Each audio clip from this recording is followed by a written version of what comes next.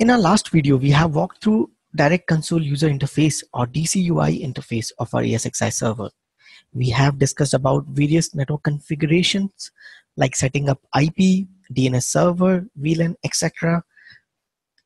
for management network connectivity of our ESXi server.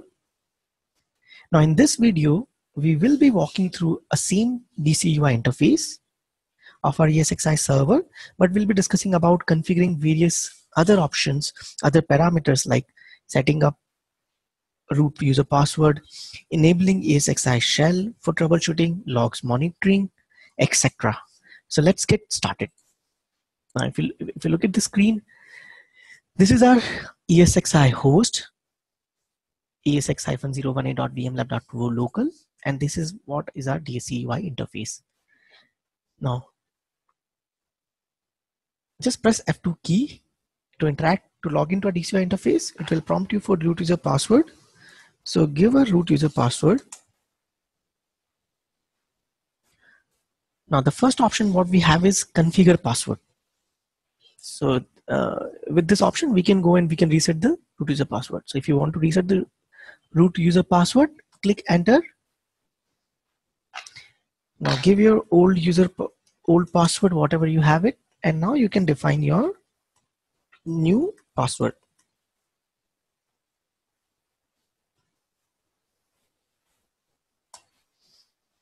And now your password is set.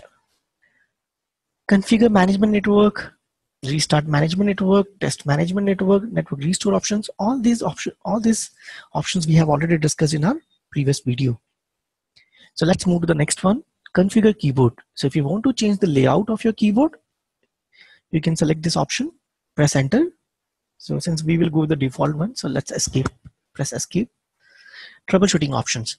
This option is one of the important parameter to configure because it will eh, we always use this this troubleshooting options for doing any kind of troubleshooting at the ESXi host level. So it is very important to configure. Press enter to go into the troubleshooting options. And now once you press enter, you could see there are a couple of other options available. So let's look at each of the one, each of the options one by one. Now the first one is enable ESXi shell. Like as I mentioned earlier, ESXi kernel is a Unix based kernel. Right? And every Unix based kernel will have some shell interface or which we call administrative interface through which you can interact with your kernel. You can you can fire any of the command to fetch the output of any of the uh, information. Like you want to get the information about network configuration you want to get the information about storage configuration of that host. So that's where you log into the shell of that operating system and you execute commands there. So that's what your ESXi shell is all about. So current by default when you do the ESXi installation the ESXi shell is disabled as you can see here. Now, how do you get access to ESXi shell from the DCUI interface? Just press Alt F1. Now, when you press Alt F1, you will get prompt to this window or this screen. Now, if you give any of the user input, it will not take it. I'm giving user keyboard input, it is not taking at all. Now press Alt F2 to get to that mode. And now, why it is not taking any input? Because it is in disabled state. So press enter key to enable it. Now if you see the state has been changed. Now the ESXi shell is enabled now. Now again go to Alt F1 and now you could see it is asking you for the login prompt which was not coming earlier when it ESXi shell was disabled. So press enter, give root user password. And now we are logged into our ESXi shell. It is the administrative interface and which is used for doing any kind of troubleshooting at the ESXi host level. Now there you can fire any of the command, for example, esxcfg nics-l, and this command will give you the overall information about your network adapter information. Right? So there's a lot of commands out there which you can execute from this interface. Now let's go back to the previous screen. To go back to the previous screen, press Alt F2. Now, second option, enable SSH. So if you want to connect to VMware ESXi shell remotely, not directly from the DCUI interface or console interface, you can always do it do it by enabling SSH service on your ESXi host. So let's say in our Windows system, from this Windows system, I want to connect to my ESXi shell, right? So how would you do that? So we, we use application called PuTTY. So click on PuTTY and give an IP of your ESXi host. Now if you see at this by default, it is not allowing us to connect to our ESXi host because the SSH service on our ESXi host is disabled. If you could see it here, right? So first we need to enable this service. How do we do that? Press enter key. And if you see your SSH service is enabled. Now let's go back to our PuTTY session again.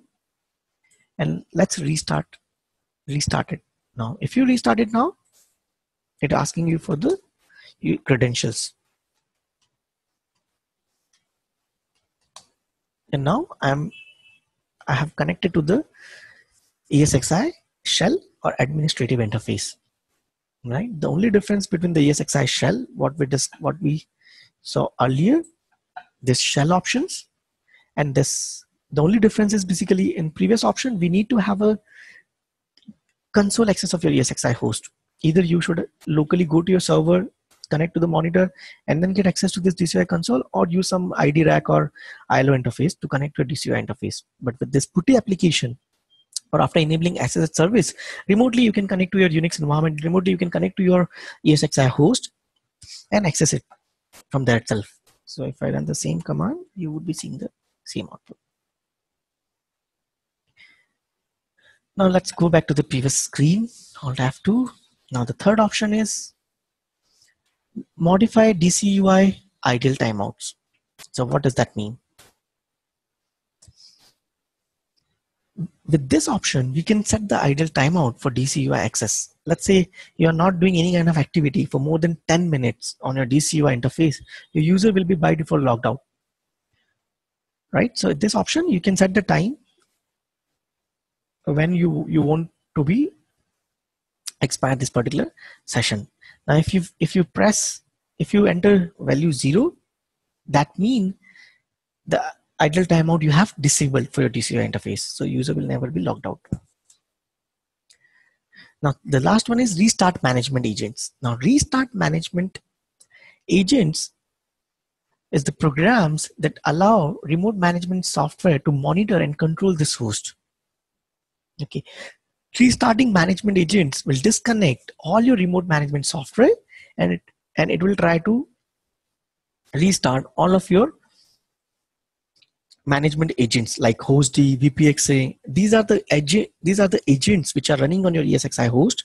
And sometimes what happens is basically when you're trying to connect to your ESXi host and you're not able to connect to ESXi host, that could be a reason where your host is not responding of that kernel or your VPX agent is not responding. Because of that, you're not able to add that host to your vCenter server. In those scenarios, this is one of the troubleshooting step where you can go to your ESXi host direct console user interface and you can restart those management agents. So what this service will do, it will stop all the management agents which are running in the kernel and it will again try to restart them. Try to again restart them and we'll try to recover from that issue. Now the next one is view system logs. So if you look at the right hand side there we have options press 1 for system log press 2 for kernel logs press 3 for configuration information press 4 for management agent like as i mentioned your host agent press 5 for your virtual center virtual center agent vpx agent logs and press 6 for your VOBD log observation log so if i press 1 you could see these are the logs, right? And these are your system logs. So you just press space key and you can scroll down